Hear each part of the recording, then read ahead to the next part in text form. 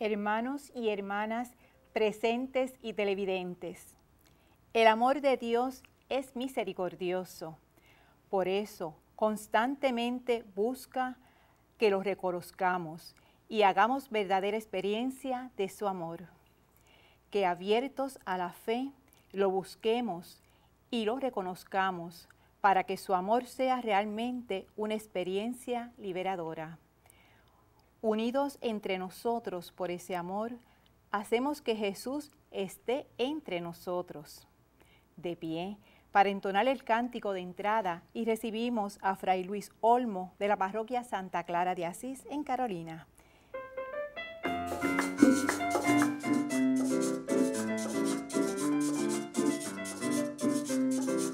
Yo te seguiré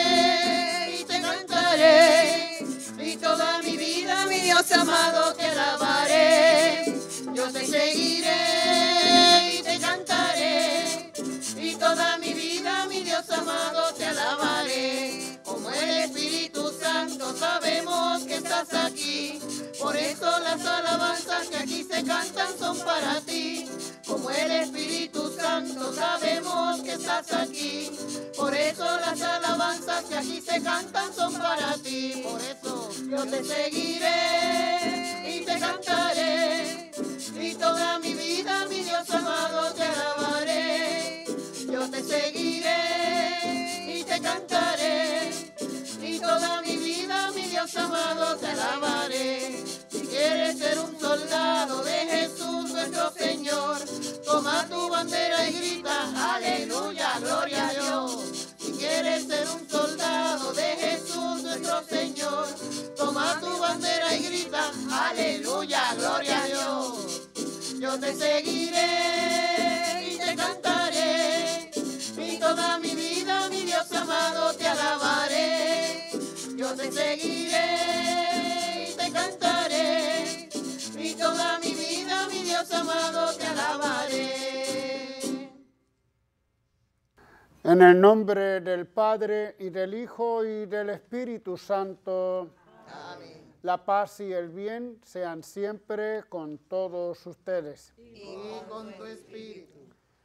El tiempo ordinario, este tiempo en el que nos vestimos de color verde, siempre me hace recordar una reflexión de algún libro de estos de meditación que hablaba del rosario, el rosario de las horas, de los días, esa oración un poco mm, monótona, es decir, porque estamos repitiendo oraciones, estamos repitiendo frases, a veces lo hacemos un poco sin, sin meditar, pero que de alguna forma nos meten en el mismo ritmo de Dios, ¿verdad? Cuando rezamos el rosario tenemos un pequeño ritmo, a veces más pausado, a veces más largo.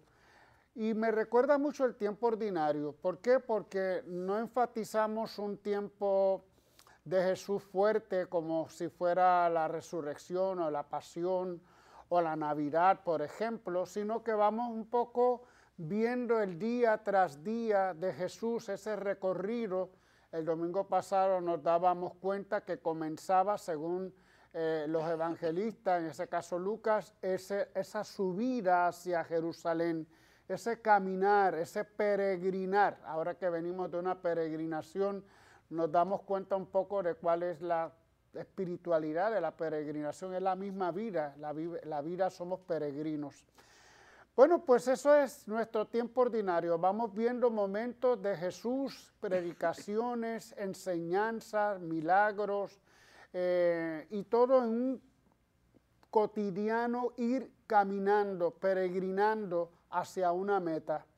Que sea así para nosotros también el tiempo ordinario, donde vamos a ir viendo lecturas del Antiguo Testamento, en este caso un profeta, profeta Amós, y otros textos evangélicos donde vamos viendo ese ir y venir de Jesús.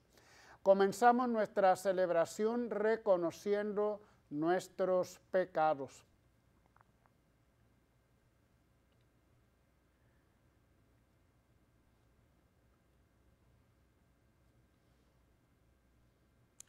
Señor, ten misericordia de nosotros. Porque hemos pecado contra ti. Muéstranos, Señor, tu misericordia. Y danos tu salvación. Dios Todopoderoso, tenga misericordia de nosotros, perdone nuestros pecados y nos lleve a la vida eterna. Amén.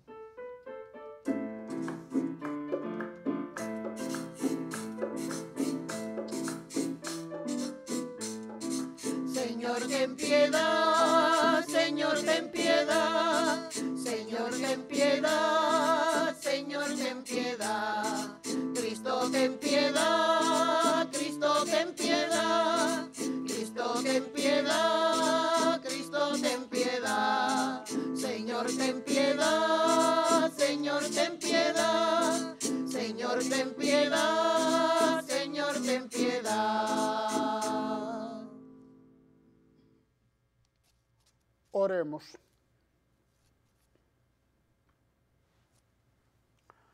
Dios nuestro, que por la gracia de la adopción quisiste hacernos hijos de la luz, concédenos que no seamos envueltos en las tinieblas del error, sino que permanezcamos siempre en el esplendor de la verdad.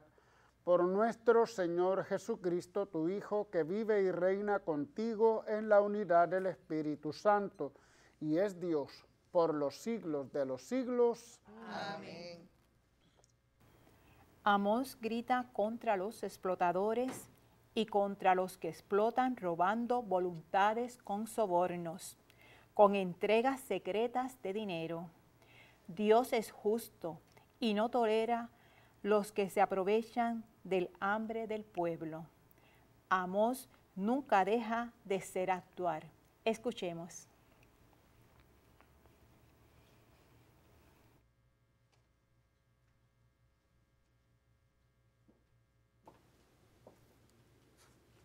Lectura de la profecía de Amós. Escuchad esto, los que exprimís al pobre, despojáis a los miserables diciendo, ¿cuándo pasará la luna nueva para vender el trigo y el sábado para ofrecer el grano? Disminuís la medida, aumentáis el precio, usáis balanzas con trampa, compráis por dinero al pobre, al mísero por un par de sandalias, vendiendo hasta el sábado de trigo. Aquel día, oráculo del Señor, haré ponerse el sol a mediodía, y en pleno día oscureceré la tierra. Cambiaré vuestra fiesta en luto, vuestros cantos en alegría. Vestirá de saco toda cintura, quedará calva toda cabeza, y habrá un llanto como por el Hijo único, y será el final como día amargo. Mirad que llegan días, oráculo del Señor, en que enviaré hambre a la tierra no hambre de pan ni de, ni de agua, sino de escuchar la palabra del Señor. Irán vacilantes de oriente a occidente, de norte a sur. Bajarán buscando la palabra del Señor y no la encontrarán. Palabra de Dios. Te alabamos, Señor.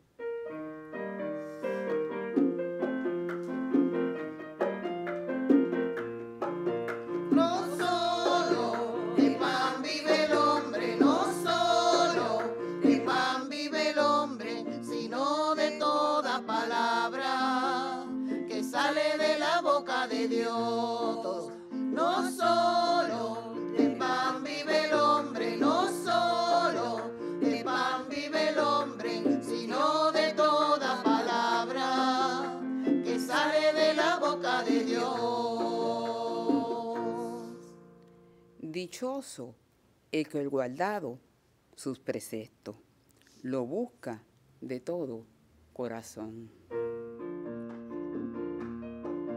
No solo de pan vive el hombre, no solo de pan vive el hombre, sino de toda palabra que sale de la boca de Dios. De todo corazón, no consientas que me desvíe de tus mandamientos. No solo de pan vive el hombre, no solo de pan vive el hombre, sino de toda palabra que sale de la boca de Dios. Mi alma se consume deseando continuamente tus mandamientos. No solo de pan vive el hombre, no solo de pan vive el hombre, sino de toda palabra que sale de la boca de Dios. Escogí el camino verdadero, deseé tus mandamientos. No solo de pan vive el hombre, no solo de pan vive el hombre, sino de toda palabra que sale de la boca de Dios. Mira cómo ansío tus decretos. Dame vida con tu justicia. No solo de pan vive el hombre, no solo de pan vive el hombre, sino de toda palabra que sale de la boca de Dios.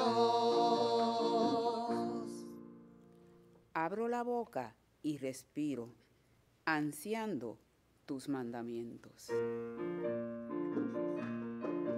No solo de pan vive el hombre, no solo de pan vive el hombre, sino de toda palabra que sale de la boca de Dios. No solo de pan vive el hombre, no solo de pan vive el hombre, sino de toda palabra que sale de la boca de Dios.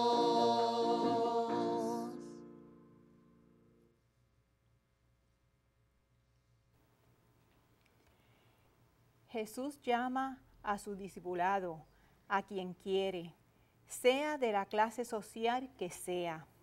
Por eso, ante las críticas de los fariseos por haber llamado a Mateo, expresa la voluntad de su corazón. Cantemos el aleluya antes de la proclamación del Evangelio. De pie, por favor.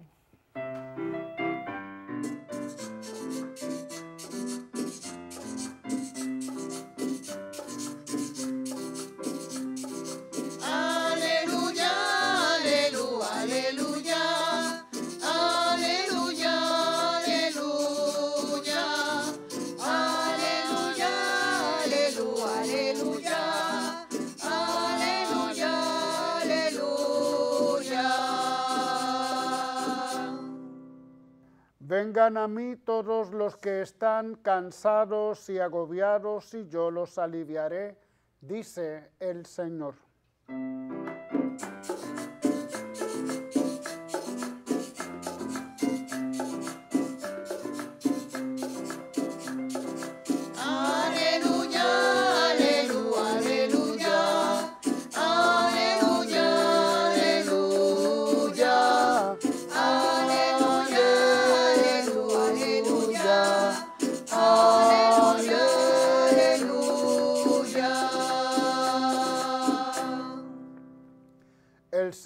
Esté con ustedes. Y con tu espíritu. Del Santo Evangelio según San Mateo. Gloria a ti, Señor. En aquel tiempo vio Jesús al pasar a un hombre llamado Mateo sentado al mostrador de los impuestos y le dijo, sígueme. Él se levantó y lo siguió. Y estando en la mesa en casa de Mateo, muchos publicanos y pecadores que habían acudido se sentaron con Jesús y sus discípulos. Los fariseos al verlo preguntaron a los discípulos, ¿cómo es que su maestro come con publicanos y pecadores?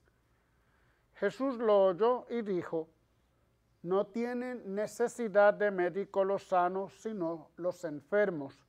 Anden, aprendan lo que significa misericordia quiero y no sacrificios, que no he venido a llamar a los justos, sino a los pecadores. Palabra del Señor. Gloria a ti, Señor Jesús.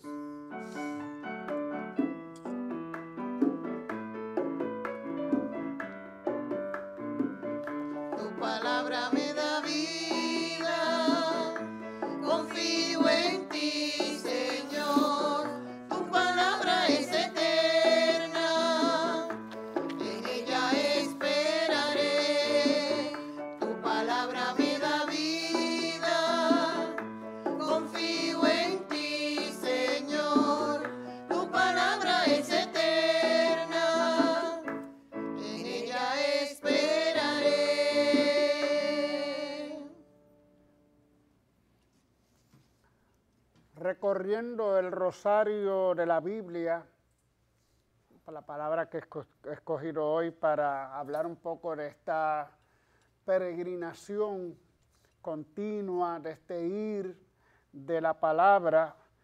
Esta semana hemos estado leyendo un profeta, Amós.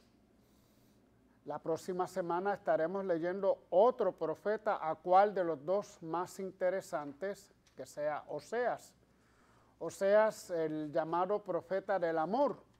En cambio, Amós es el profeta de la justicia, un poco del castigo de Dios a aquellos que están en contra de sus hijos.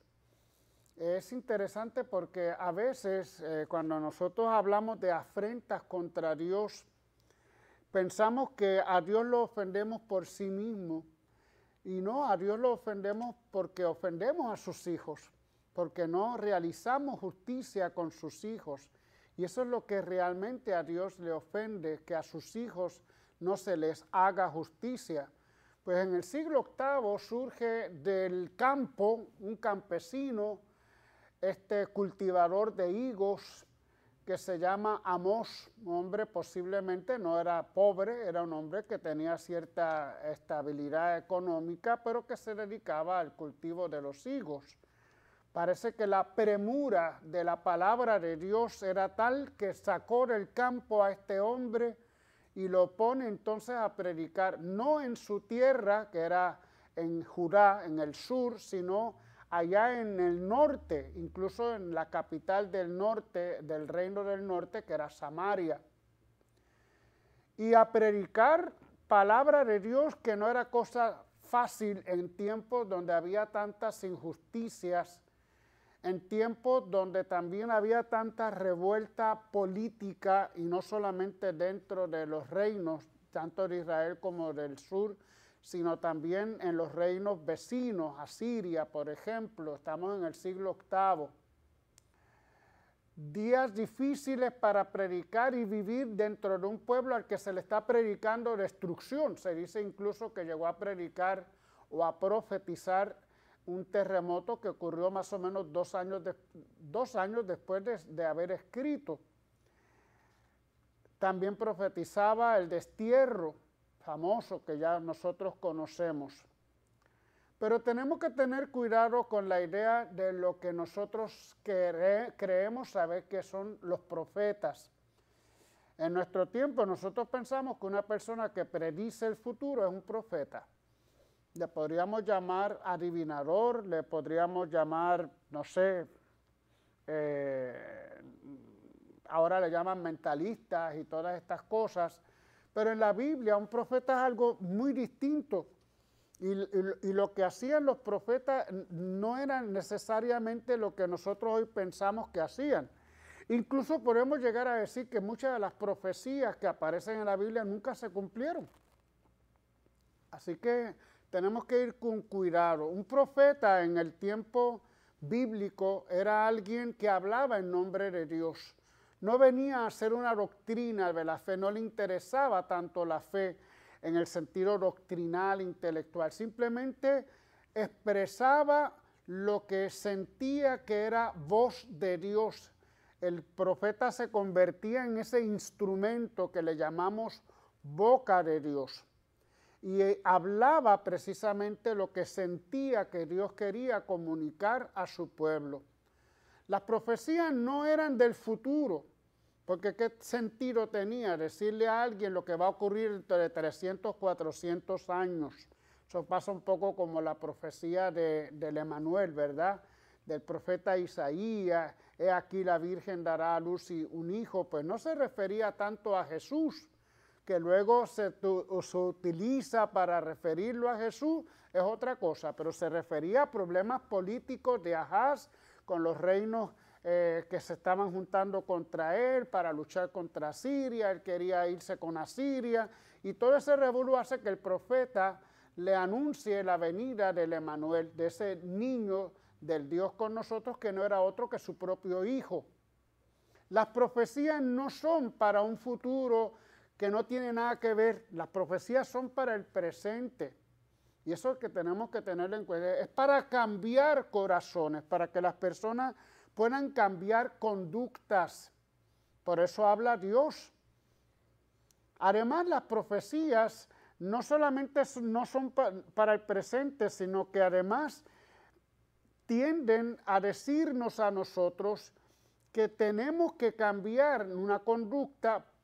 Entonces dice, Dios va a destruir Dios va a destruir, por ejemplo, Nínive, si no cambian de conducta. Por lo tanto, las profecías son con, condiciones. Si el pueblo cambia la conducta, entonces Dios no realiza la profecía. El caso claro de Nínive y Jonás, ¿verdad? Jonás hasta se enfogonó porque Dios no cumplió la profecía que le mandó a decir. No necesariamente las profecías esclavizan a Dios y ya tiene que cumplirlas. Es como cuando los reyes decían, el rey dijo esto, pues ya tú lo dijiste, ya no puedes echar para atrás. No, Dios tiene toda la libertad de provocar un cambio y si lo logra, entonces no viene la destrucción. El caso claro, el caso de Jonás y Nínive. Entonces, este, este sentido de la profecía hace pensar que muchas de las profecías no se cumplieron porque realmente no era una predicción del futuro, sino un simplemente motivar a las personas del momento, del presente, a cambiar.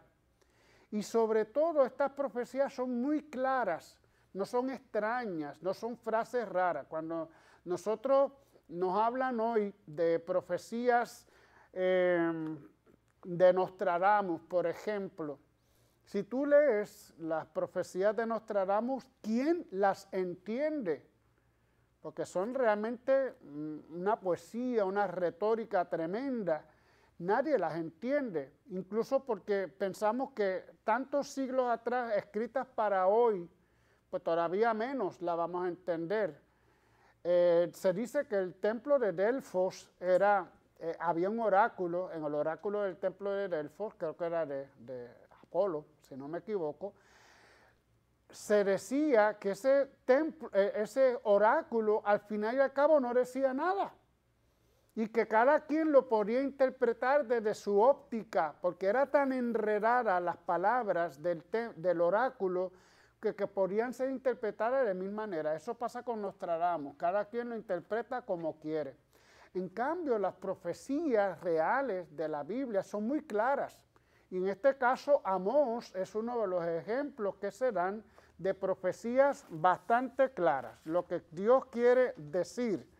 Dice, eh, aquel día, no, voy a leer la de hoy, eh, escuchen esto los que exprimen al pobre, despojen y despojan a los miserables. Está directamente hablando de quién es el el, que va a recibir el oráculo. Cuando pase la luna nueva para vender el trigo y el sábado para ofrecer el grano, se lo preguntan. ¿Por qué? Porque quieren disminuir la medida, aumentar el precio, usar balanzas con trampas, comprar por dinero al pobre. Clarito lo que nos va diciendo Amós. Está diciendo claramente lo que está sucediendo.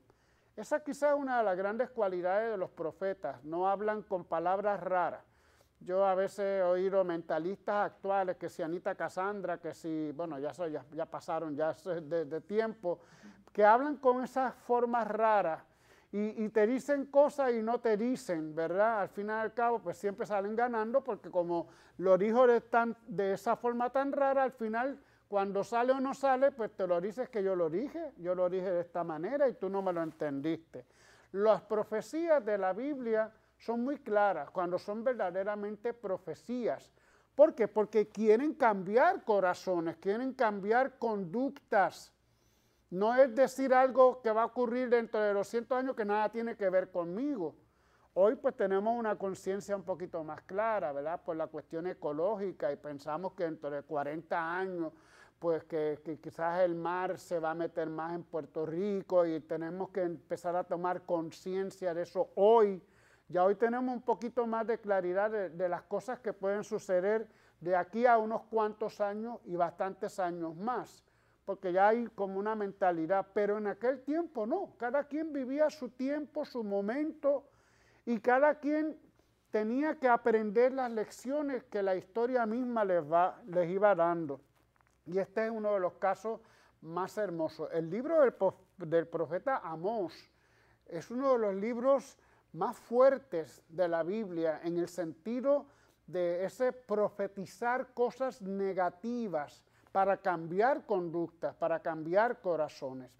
Por eso cuando nosotros leemos los evangelios y a veces encontramos textos duros, textos fuertes, es porque hay una literatura ya conocida como la de que se presenta un poco como ejemplo, como modelo, también para cambiar corazones. No es que nos presenten un Dios que no perdona, no es que nos presenten a un Dios implacable, sino sobre todo una literatura que está queriendo provocar un corazón diferente, un cambio de actitud. Hoy en el Evangelio, hablando precisamente de esto, seguimos un poco ese caminar de Jesús hacia Jerusalén, aunque ahora estamos en el Evangelio de Mateo. Y todos los evangelistas nos van presentando a Jesús en la subida a Jerusalén, pero sobre todo más Lucas. Y aquí escoge a un hombre que es catalogado como malo ante los judíos, es un publicano, es un cobrador de impuestos. Entonces los fariseos se escandalizan y dice, este come con publicanos y pecadores. Yo creo que es interesante entonces, primero, que Jesús escoja un publicano, es decir, uno de esos que son juzgados como los malos de la película por los fariseos. Nosotros somos los buenos, los publicanos y los pecadores son malos. ¿Qué sentido tienen entonces? Claro, los publicanos eran mal vistos porque eran los que cobraban los impuestos del imperio. Y si estábamos un poquito en contra del imperio, pues ellos representaban precisamente esa injusticia que el imperio cometía contra los, contra los mismos judíos. Pero había un concepto general de los pecadores.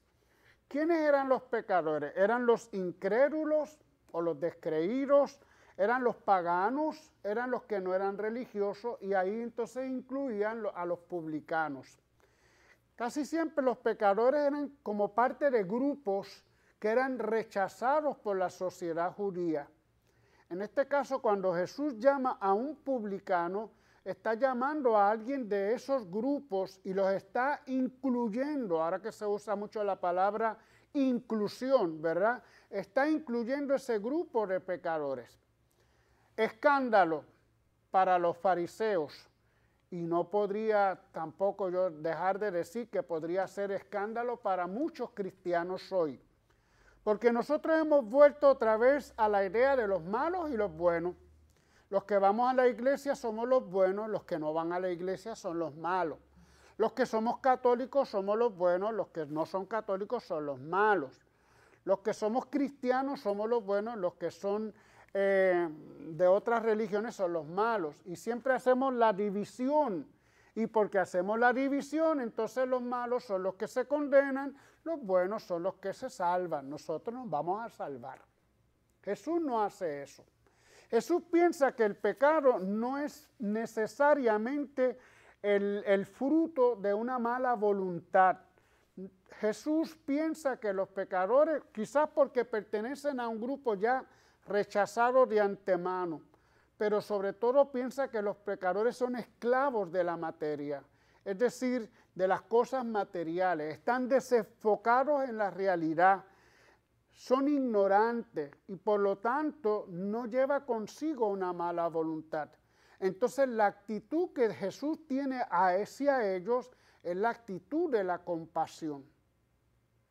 Como, se puede comparecer a cualquier persona que sufre, como se puede comparecer a una persona que, que le va mal en la vida, al pecador Jesús le tiene también compasión, porque piensa que no es fruto de su mala voluntad y por eso los incluye, no solamente perdonándoles, sino también incluyéndolos entre sus discípulos, como es el caso de Mateo el publicano. Como ven, el Evangelio transforma todo, es mucho más eh, revolucionario de lo que nosotros pensamos. Hoy todavía nos podemos escandalizar ante personas que catalogamos como pecadores y los rechazamos. Y quizás no lo hacemos externamente, pero en el interior sí lo hacemos. La pregunta será entonces, ¿estoy yo abierto a la inclusión de Jesús, que incluso incluyó pecadores? ¿Se acuerdan de Pedro? Apártate de mí que soy un pecador. Pedro se sentía pecador y decía, bueno, como yo soy pecador, tú no puedes acercarte a mí, porque tú eres santo y los santos no se puede acercar a los pecados, al pecado. Esa mentalidad todavía la traemos, a pesar de que Jesús hace dos mil años atrás trató de cambiarla. Hemos vuelto un poco a la distinción entre malos y buenos, entre los que se salvan y los que no se salvan. Pues nada, hay mucho que aprender de este caminar de Jesús, de este peregrinar de Jesús, pero vivirlo también en nuestra vida de todos los días. Amén.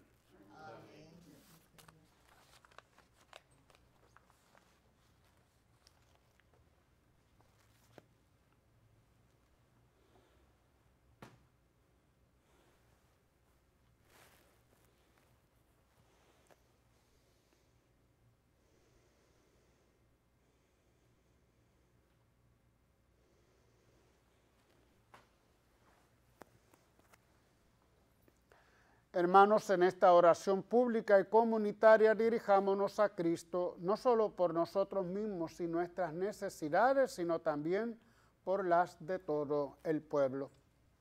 Para que el Espíritu Santo vivifique a la Iglesia, fomente en ella el diálogo, la tolerancia y el respeto entre los cristianos y con toda la humanidad, roguemos al Señor. Te rogamos, óyenos para que los gobernantes de las naciones no desoigan la apremiante llamada de la Iglesia a promover la justicia, a terminar con la corrupción y a garantizar la paz y la convivencia entre las naciones, roguemos al Señor.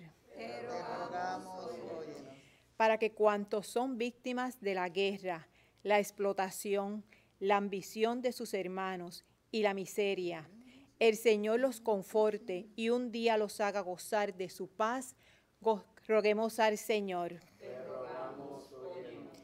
para que al recibir el cuerpo y la sangre del Señor, se robustezca nuestra fe y permanezcamos fieles a sus mandamientos, roguemos al Señor. Por la salud de sacerdotes, diáconos religiosos, religiosas, y por Neida Blanco, Teodora Rivera, enfermos de COVID, enfermos de la parroquia Nuestra Señora de Guadalupe, Nelson Roque, Fran Zapata, Irma de Santiago, Cándida Alomar, Olgi Olmo, Delvia Lugo, Carmen Molina, Esposo Sánchez, Tere y Tito del Valle, y Aida Torres, roguemos al Señor. Por el eterno descanso de sacerdotes, diáconos religiosos, religiosas, y por Rosa y Esteban Rivera, Zoilita Rivera, Milagros Ortiz, Nag- Nagda Minty y Bruno Orange, Nelson Olmo, Ángel Alberto Morales, Claribel Guzmán, Carlos Rivera Rodríguez, Gregorio Franco, difuntos de la familia Hernández Urrutia y Miguelina Molina, roguemos al Señor. Te rogamos, óyenos. En acción de gracias por el aniversario sacerdotal número 30 de Padre Néstor Yurfo y por nuestros amigos y amigas de Teleoro, cuyas intenciones y peticiones han sido colocadas junto al sagrario, roguemos al Señor. Te rogamos, óyenos. Bien, pues no solamente por el padre Yulfo, que cumple 30 años, sino por el padre, se me olvida el nombre, Mauri, Luis Amauri, que cumplió también, cumple mañana 13 años. El 29 de junio, el día de San Pedro y San Pablo, pues es una fecha en que se aprovecha para ordenaciones. Yo también hace 37 años fui ordenado sacerdote allá en Acámbaro, Guanajuato, así que también estamos celebrando, varios eh, hermanos estamos celebrando este aniversario de sacerdotal, así que que Dios nos bendiga a todos nosotros. Padre Santo, atiende con bondad nuestras súplicas y escucha las oraciones de tus fieles por Jesucristo nuestro Señor. Amén.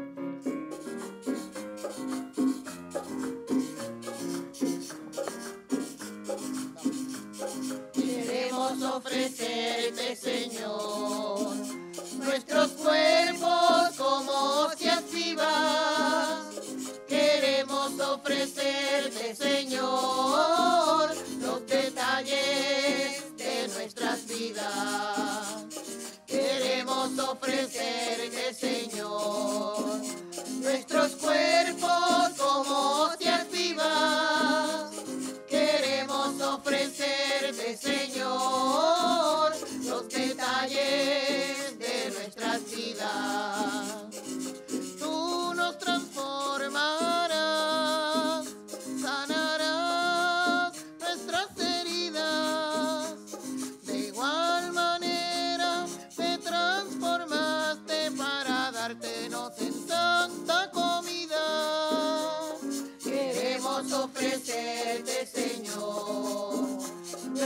cuerpos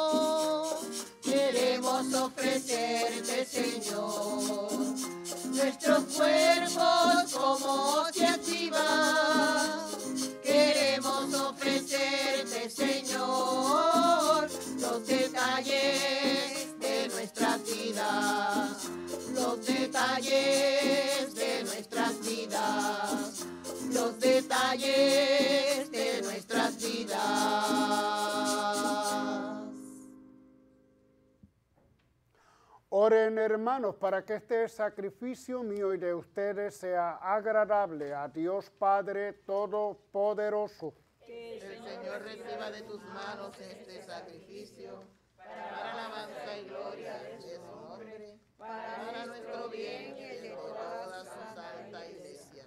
Dios de bondad que das eficacia a tus misterios, concede que nuestro culto resulte digno de estos sagrados dones. Por Jesucristo nuestro Señor. El Señor esté con ustedes. Y con tu espíritu Levantemos el corazón. lo tenemos levantado hacia el Señor. Demos gracias al Señor nuestro Dios. Es justo y necesario. En verdad es justo y necesario, es nuestro deber y salvación darte gracias siempre y en todo lugar, Señor Padre Santo, Dios Todopoderoso y Eterno, por Cristo, Señor nuestro. Con amor celebramos su muerte, con fe viva proclamamos su resurrección y con esperanza firme aguardamos su gloriosa venida. Por eso con todos los ángeles y santos te alabamos, diciendo sin cesar.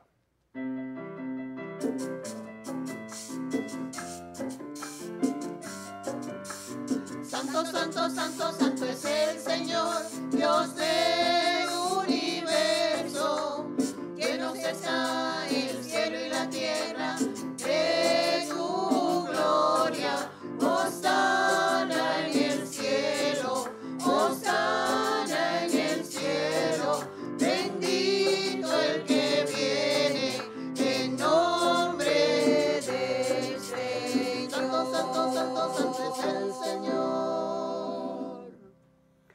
Santo eres en verdad, Señor, fuente de toda santidad.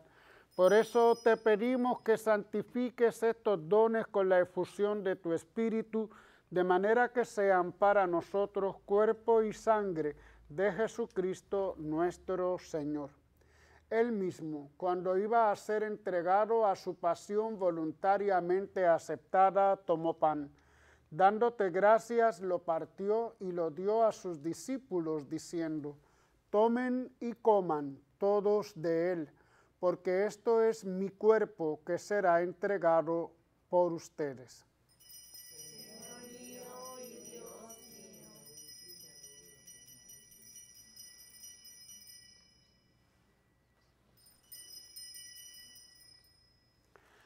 Del mismo modo, acabada la cena, tomó el cáliz y dándote gracias de nuevo lo pasó a sus discípulos, diciendo, tomen y beban todos de él, porque este es el cáliz de mi sangre, sangre de la alianza nueva y eterna, que será derramada por ustedes y por muchos para el perdón de los pecados. Hagan esto en conmemoración mía.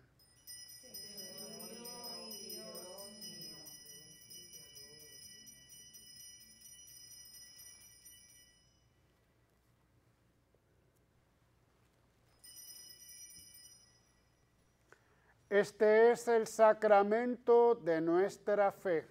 Anunciamos tu muerte, proclamamos tu resurrección. Ven, Señor Jesús. Así, Padre, al celebrar ahora el memorial de la muerte y resurrección de tu Hijo, te ofrecemos el pan de vida y el cáliz de salvación y te damos gracias porque nos haces dignos de servirte en tu presencia. Te pedimos humildemente que el Espíritu Santo congregue en la unidad a cuantos participamos del cuerpo y la sangre de Cristo. Acuérdate, Señor, de tu iglesia extendida por toda la tierra y con el Papa Francisco, con nuestro obispo Roberto y todos los pastores que cuidan de tu pueblo, llévala a su perfección por la caridad. Acuérdate también de nuestros hermanos que se durmieron en la esperanza de la resurrección y de todos los que han muerto en tu misericordia. Admítelos a contemplar la luz de tu rostro. Ten misericordia de todos nosotros y así, con María, la Virgen, Madre de Dios, su esposo San José, los apóstoles y cuantos vivieron en tu amistad a través de los tiempos, merezcamos por tu Hijo Jesucristo compartir la vida eterna y cantar tus alabanzas.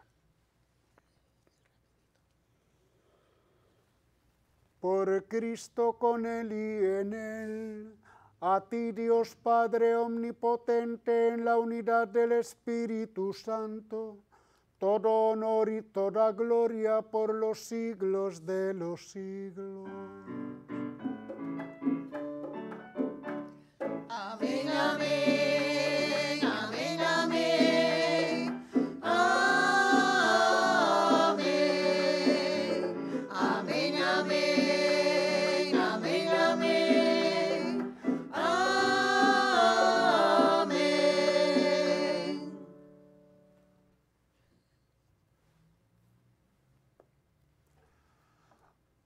En el amor de Cristo por el Espíritu Santo que hemos recibido, dirijámonos al Padre con la oración que el Señor nos enseñó. Padre nuestro que estás en el cielo, santificado sea tu nombre. Venga a nosotros tu reino. Hágase tu voluntad en la tierra como en el cielo. Danos hoy nuestro pan de cada día. Perdona nuestras ofensas, como también nosotros perdonamos a los que nos ofenden. No nos dejes caer en la tentación y líbranos del mal. Líbranos de todos los males, Señor, y concédenos la paz en nuestros días, para que, ayudados por tu misericordia, vivamos siempre libres de pecado y protegidos de toda perturbación, mientras esperamos la gloriosa venida de nuestro Salvador Jesucristo. Tuyo es el reino, tuyo es el poder y la gloria por siempre, Señor. Señor Jesucristo, que dijiste a tus apóstoles, la paz les dejo, mi paz les doy no tengas en cuenta nuestros pecados, sino la fe de tu iglesia. Y conforme a tu palabra, concédele la paz y la unidad, tú que vives y reinas por los siglos de los siglos. Amén. La paz del Señor esté siempre con ustedes. Y con tu espíritu. Nos damos fraternalmente un saludo de paz.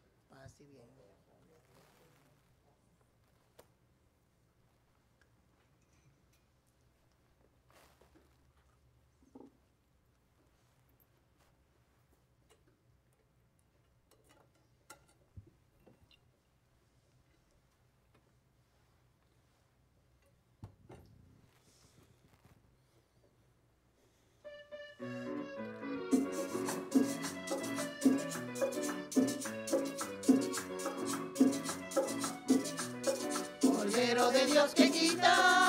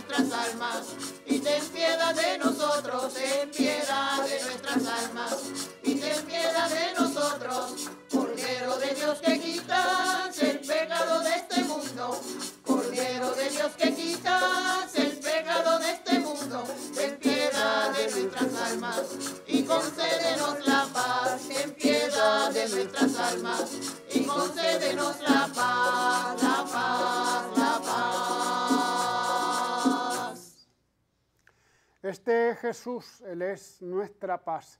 Él es el Cordero de Dios que quita el pecado del mundo. Dichosos los invitados a la cena del Señor.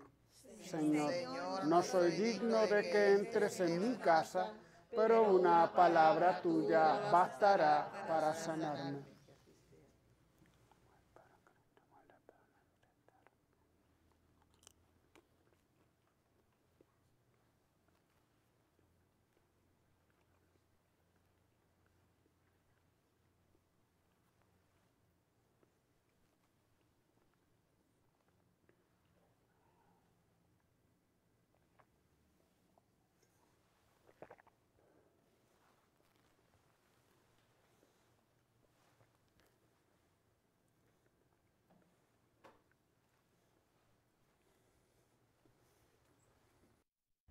Invitamos a nuestros hermanos y hermanas televidentes a hacer la siguiente comunión espiritual.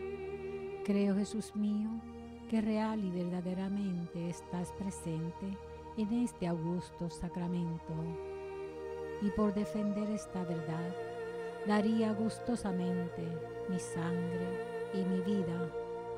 Yo te amo con todo mi corazón, porque te amo me pesa haberte ofendido Ven a mi alma, haz morada en ella. Yo te abrazo, amor mío, y me doy todo a ti. No permitas que jamás me separe de ti.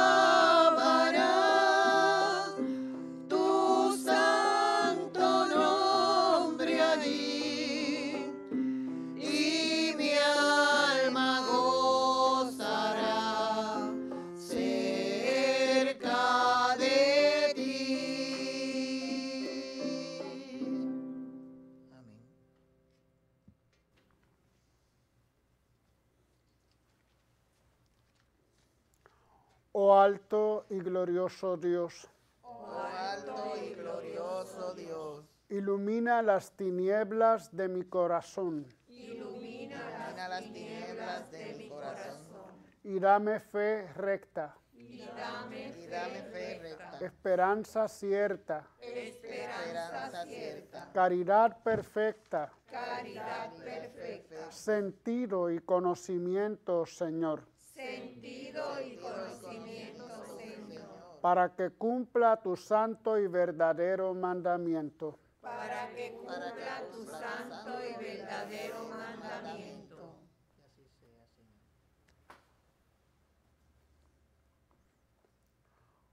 Oremos.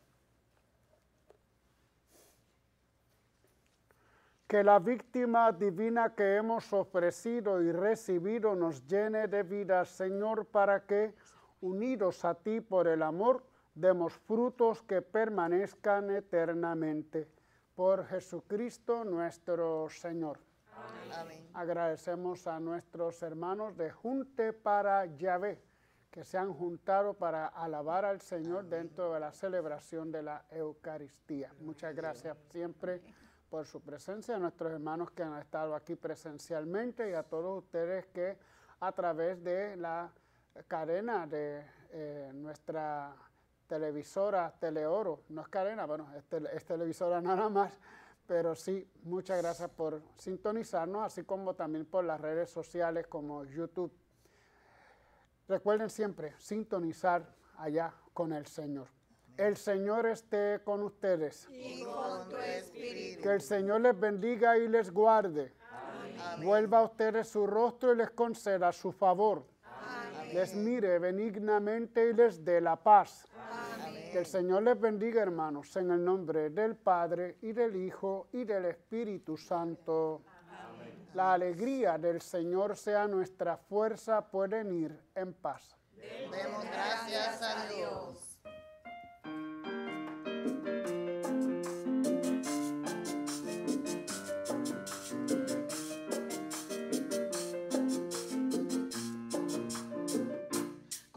Con Cristo,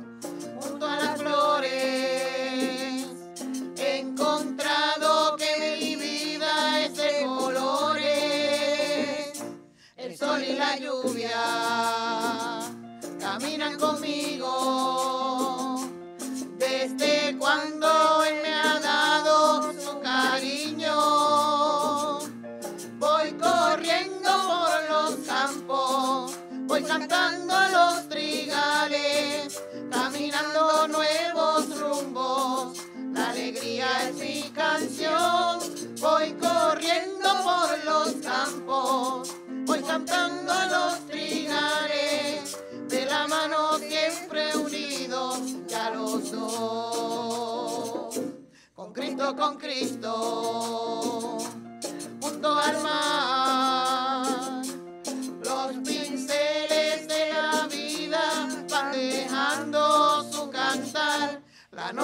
luna caminan conmigo. Desde cuando